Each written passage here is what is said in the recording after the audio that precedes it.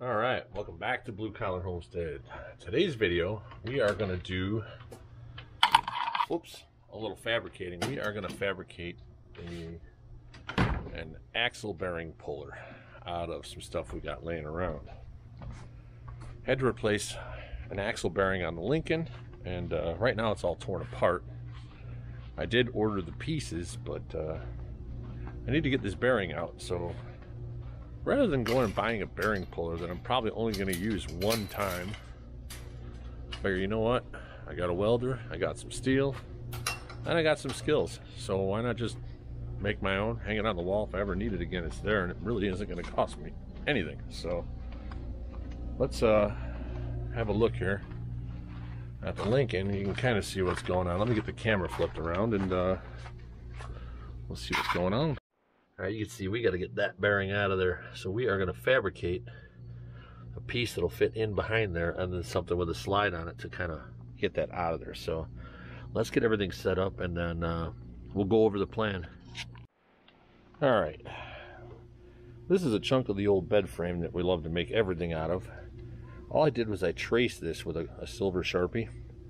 I'm going to cut this. And I'm probably going to end up welding a lug nut on this at some point and then uh, I think we're going to use a piece of rebar and a piece of pipe to make a slide. This piece will have to be detachable so we can slip it in and then turn it and then thread in you know, our piece of rebar. I'll probably end up screwing a, or uh, welding a stud to the end of the piece of re rebar off of the axle that we pulled out because the new axle comes with new lug nuts, new studs, all that stuff. So let me get this cut and we'll get to it. All right. You have the one side cut that I traced. Now, this is the side this is going to go inside the axle, so I can't have these. It'll never fit in there. So what we're going to do is, I'm just going to use this roll of tape. I'm going to make my line here, and we're going to cut all this off. So this will be like that. That'll that that'll keep this from wanting to bend when we start, you know, applying pressure to it to get the bearing out. So let me get that cut, and we'll be right back. All right, you can kind of see what I did here. I drilled a hole through this. You see the bolt sticking out the bottom. This bolt is going to get welded into a pipe. I ended up not using a lug nut and a stud because this was a little bit smaller so it fit in the axle easier. But we're going to weld this nut to this plate. Then we're going to unscrew this bolt and, and, weld this bolt into a piece of pipe and make the slide end of this. So uh, stick around. Let's get this welded.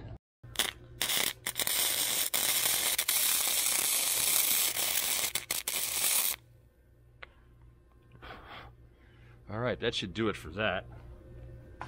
Now, let's pull the clamp off of here. I'm to dump a little water on that to cool it off. There we go.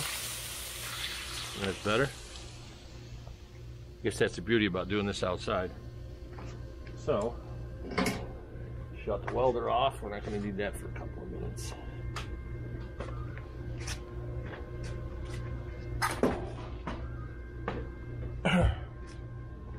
Right, let's see what we got here. Let's unscrew this. Oh, that looks like it came out pretty good. I gotta stick this in here. Let this cool off a little bit more. All right, now I gotta get a wrench to get that out of there. Let's see.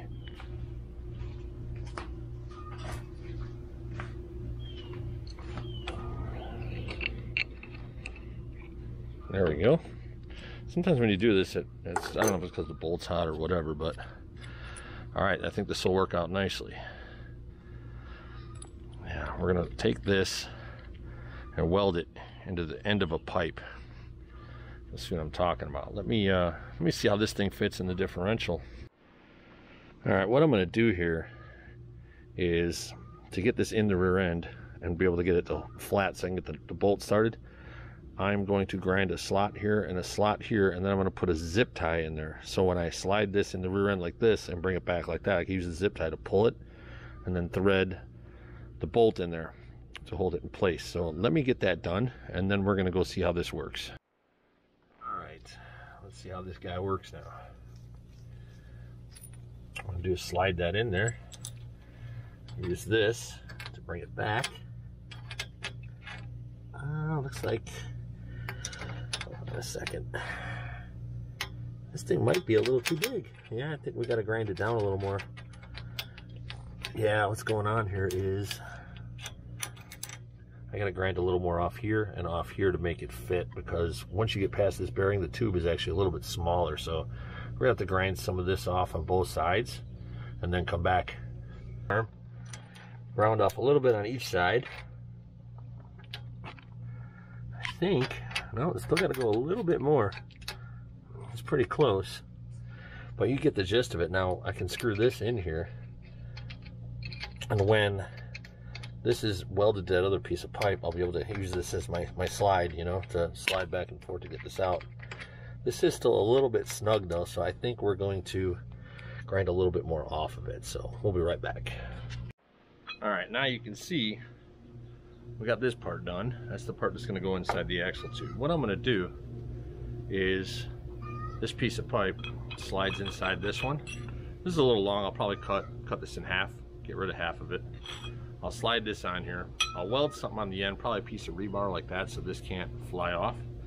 And then this guy is gonna get welded right in the end of that, like that. That way that will screw into the other piece. So let me get this all welded together and fabricated, and then uh, once it's done, I'll show you what's up. We'll go over there and we'll give it a try. All right, I think that'll work for that. Let's cool it off. I gotta clean up this pipe, and we'll cut the other one, and uh, we'll get that piece of rebar welded on the other end. All right, I think we got it. Everything's put together. I've just got this thing cooling off a little bit. Like I said, this is one of them things I'm probably not going to use very often, hopefully. If I keep having to replace bearings in that rear end, something else is going on, but let's have a look here. Now, went over this piece with the zip tie. This slides in the rear end. I'll hold this. I'll come up with this. This will thread into there, like that. And I got my slide. See, I welded a big fat washer on the end of this. Only thing is I didn't have a, a washer big enough to go around this. Definitely got to watch your hand. This for getting pinched right here. So let's go over to the car and try this thing out and see how it works. All right. The moment of truth is upon us.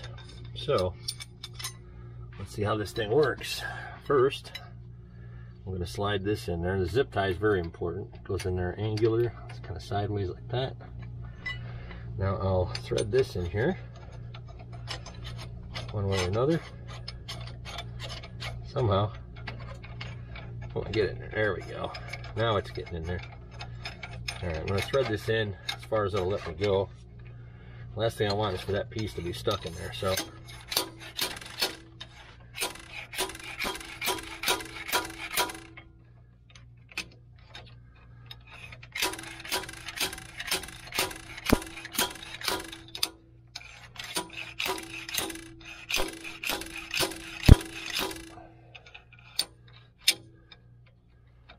Might need to put more weight on this or something. Yeah, there's maybe not enough weight on this.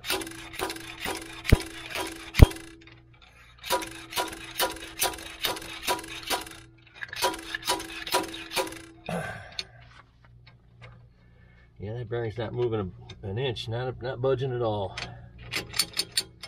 So, yeah, I might have to add some weight to the handle to get that to work, to get a little more power behind it. But uh, don't you worry, I got a plan for that.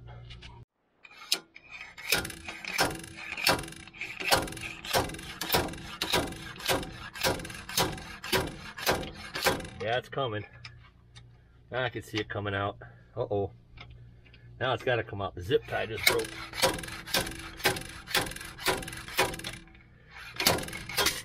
There we go. That's the old bearing. It's out of there.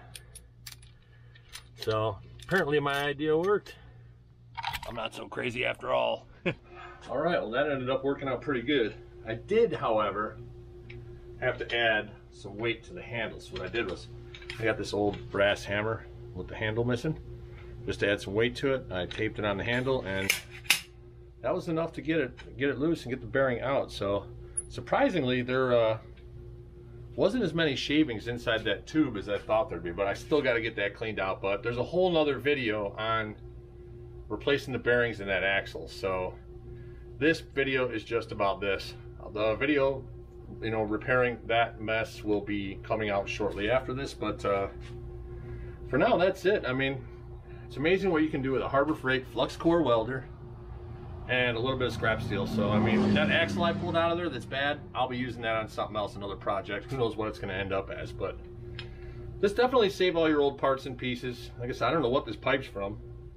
I don't know what, the, well, the bed frame's obviously from, from a bed frame. That's all this piece is, but um, that's pretty much it. So I'm gonna I'm gonna wrap this video up. So like, subscribe, and share, and I'll see you on the next one.